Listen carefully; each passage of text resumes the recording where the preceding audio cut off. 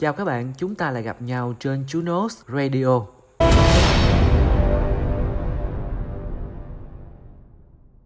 Đúng thật là triệu lý do chia tay là hết yêu.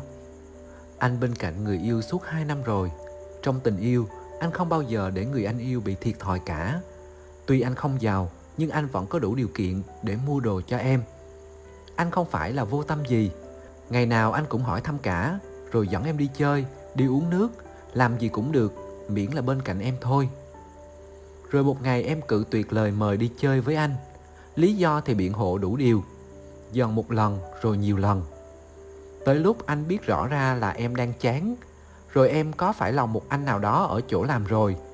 Em kể hết ra, mặt vẫn cúi xuống như chờ những lời lẽ tồi tệ nhất thốt ra từ miệng anh. Anh không mắng, anh không chửi, vì em có làm gì sai đâu. Em chỉ đơn giản là hết yêu. Anh như chết lặng. Có lẽ hai năm qua vẫn chưa chứng minh đủ tình yêu anh dành cho em.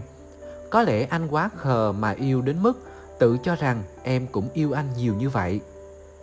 Hai đứa im lặng. Một hồi em vào thu dọn đồ đạc để qua nhà anh kia ở. Anh cũng không cản lại. Chắc tại anh mất hết sức lực rồi. Anh đã hiểu ra được rồi. Những thứ anh trao em không muốn nhận lại từ em, anh cũng không để tâm rằng em không còn yêu anh nữa. Anh chỉ hy vọng rằng là chàng trai kia có thể làm tốt hơn anh, mang đến cho em những thứ anh không thể làm được. Tạm biệt em. Cảm ơn các bạn đã lắng nghe những chia sẻ trên Junos Radio. Đừng quên nhấn vào nút đăng ký và bật thông báo trên kênh Vlog của Juno nhé.